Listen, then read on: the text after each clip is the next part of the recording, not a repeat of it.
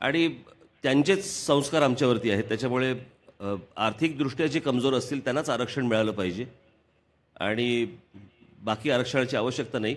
हा एक मुद्दा जरी झाला आणि पण मग आज जे वातावरण जे दूषित होतं आहे नोकऱ्या नसताना शाळा कॉलेजेसमध्ये खाजगी क्षेत्रामध्ये ॲडमिशन नसताना तर आपण मला असं वाटतं जी आज जो तरुण महाराष्ट्रामधला आहे याला आपण एक आव्हान करणं गरजेचं. आता जे आपण केलंच अर्थातच केलं परंतु एक त्याच्यावरती एक मला असं वाटतं आपण एक जाहीर सभा आपण जर समजा घेतलीच आणि तिथे जर समजा त्या प्रकारचं प्रबोधन केलं तर ते जास्ती खोलवर जाईल असं आपल्याला वाटत नाही का? नक्कीच वाटेल त्याचा उपयोग होईल. पण त्याच्यावर दुसरी गोष्ट केली. आणि ती म्हणजे जे लोकांचं प्रतिनिधित्व करतात आणि त्यांना संधी मिळते. प्रतिनिधी याचा अर्थ विधानसभेत किंवा लोकसभेतच गेलं पाहिजे असं नाही. अगदी बरोबर. तुम्ही तुमच्या संघटनेच्या मार्फत प्रतिनिधित्व तरुणांचं फार मोठ्या प्रमाणात करता आम्ही बघतो.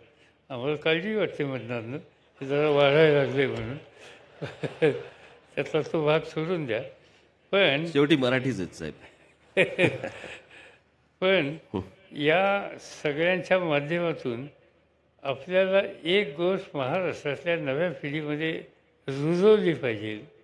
की हनुमंत गायकवाड जर उभा राहू शकतो तू का नाही उभा राहू शकतो? अगदी बरोबर. हे कर्तृत्व तुझ्यात सुद्धा आहे. आणि तुझ्यात कर्तृत्व आहे हे त्याला बिंबवलं पाहिजे. आणि दुसरी गोष्ट अशी आहे की त्याच्यात कर्तृत्व हे दिसत असताना एकमेकांनी त्याला मदत केली पाहिजे. पायात पाय घालायचे उद्योग बंद केले पाहिजेत. आणि ही भावना मराठी लोकांच्या तरुणांच्यात वाढवली पाहिजे. माझी खात्री आहे की महाराष्ट्रातला तरुण हनुमान गायकवाड सरकार स्वतःच्या कर्तृत्वानं उभं करेल आणि स्वतःचा प्रश्न सोडवेल पण त्याच्यासारख्या आणखीन दहा लोकांना सुद्धा सेवा करण्याची संधी दिली. दुसरा एक अजून एक महाराष्ट्रातला एक अत्यंत गंभीर विषय. आणि तो म्हणजे महाराष्ट्रात गरिबी ही काही आज नाही आहे महाराष्ट्रात गरिबी ही पूर्वी पण होती. पण आजचा पवारसाहेब शेतकरी आत्महत्या करतो परंतु पूर्वी गरिबी असताना तेव्हा शेतकरी आत्महत्या करत नव्हते.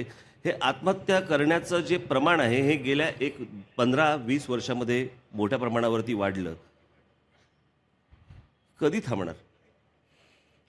आणि कसं थांबणार? त्याच्या मी खोलात गेलो आहे त्याचं कारण असं आहे की मी शेतीमंत्री असताना यवतमाळ जिल्ह्यामध्ये आत्महत्या केल्याच्या संबंधी एक माहिती माझ्या कानावर आली. मी कलेक्टरना कॉन्टॅक्ट केलं माहिती खरी होती. मी अस्वस्थ झालो. मी प्राईम मिनिस्टरकडे गेलो मनमोहन सिंगांच्याकडे आणि त्यांना सांगितलं की शेतकऱ्यांनी आत्महत्या केली हे लक्षण चांगलं दिसत नाही.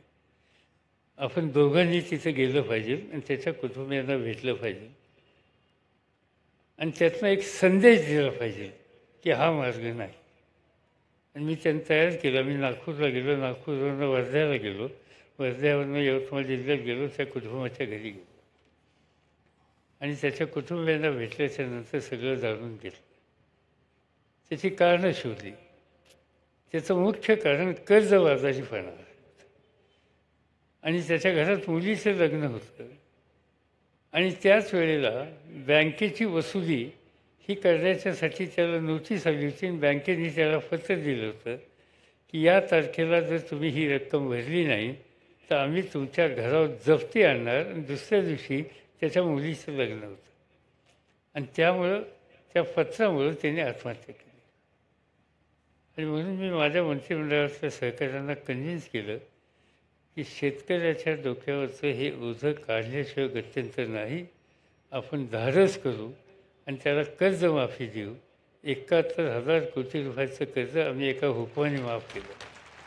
आणि त्यांना बाहेर काढलं. पुढच्या तीन वर्षात या आत्महत्याचा रेट खाली आला.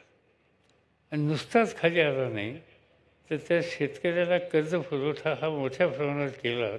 त्याच्याबरोबर माफी आणि कर्ज पुरवठा पण साहेब कर्जमाफी हे काही उत्तर नाही ना नाही उत्तर नाही कबूल आहे. पण म्हणून आम्ही कर्जमाफी केली आणि त्या